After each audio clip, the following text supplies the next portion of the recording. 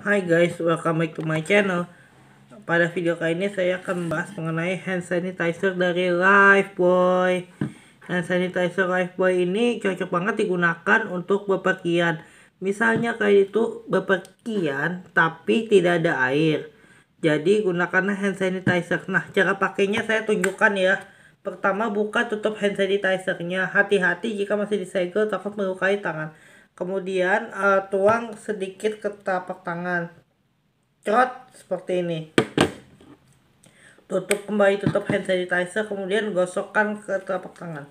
Gosok seperti ini kemudian gantian punggung tangan sela-sela jari uh, putar-putar di bagian telapak tangan gosok-gosok lagi ke belakang lagi dan terakhir mengakhiri ke depan. Itu gosok-gosok uh, mencuci tangan selama 20 detik jadi itu bisa membendung 99% kuman ya itu saya jujur ya itu yang ada di pikiran saya itu tentang Life Boy hand sanitizer. Dulu orang nyebutnya handy clean.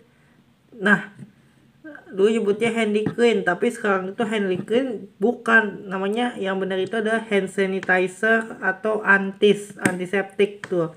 Kalau handy clean itu cuman wangi-wangian buat anak-anak kalau hand sanitizer itu uh, untuk cocok digunakan untuk uh, membuat makan dan bepergian ke mana pun anda pergi.